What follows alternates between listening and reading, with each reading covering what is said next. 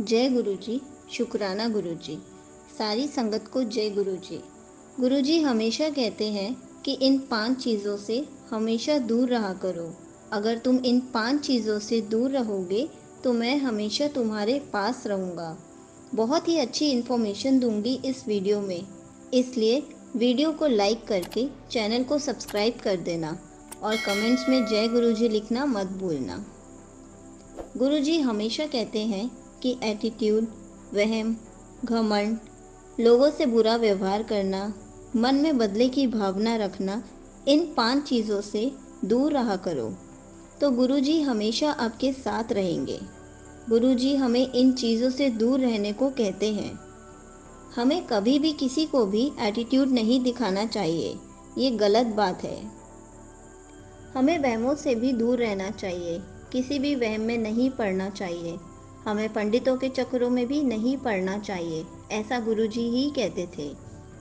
ये बात गुरुजी के वचनों में भी है कि हमें पंडितों के चक्रों में नहीं पढ़ना चाहिए। अगर कोई आधे ज्ञान वाला पंडित मिल गया तो क्या?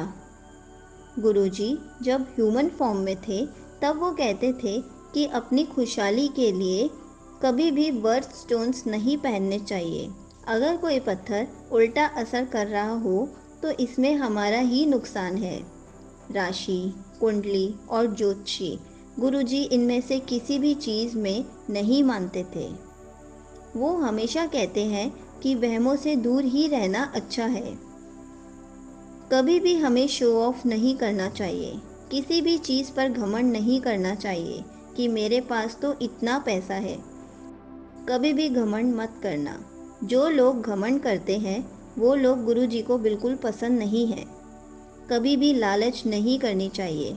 हमारे पास जितना है, हमें उतने में ही खुश रहना चाहिए। हमें लालच नहीं करनी चाहिए, बल्कि हमें गुरु जी का शुक्राना करना चाहिए कि उन्होंने हमें इतना कुछ दिया। हमेशा पॉजिटिव रहा करो। नेगेटिव थिंकिंग अपने माइंड में मत लाया करो। कभी भी गरीबों के साथ या फिर जो ज़रूरतमंद लोग होते हैं, उनके साथ बुरा व्यवहार मत करा करो। कभी भी गरीबों के साथ बुरा बिहेव मत किया करो।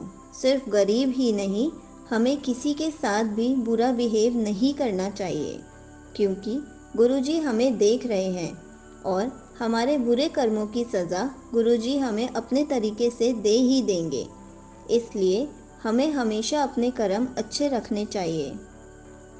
हमें कभी भी अपने मन में बदले की भावना नहीं लानी चाहिए।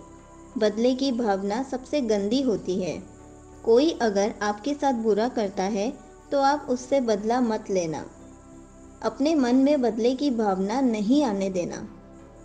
कोई अगर आपके साथ बुरा करता है तो आपको बदला नहीं लेना है। आपको अपने कर्म अच्छे रखने हैं। जिसने आपके साथ बुरा किया, गुरुजी उसको खुद देख लेंगे। इसलिए आप बस अपने कर्म अच्छे रखो। हमेशा इन पाँच चीज़ों से दूर रहना। एटीट्यूड वहम, घमंड, बदले की भावना और दूसरों से बुरा व्यवहार करना। अगर आपको गुरु जी से रिलेटेड कोई क्वेश्चन पूछना हो तो आप कमेंट्स में पूछ सकते हैं। मैं इसका आंसर ज़रूर दूँगी। जय गुरु जी शुक्राना गुरु जी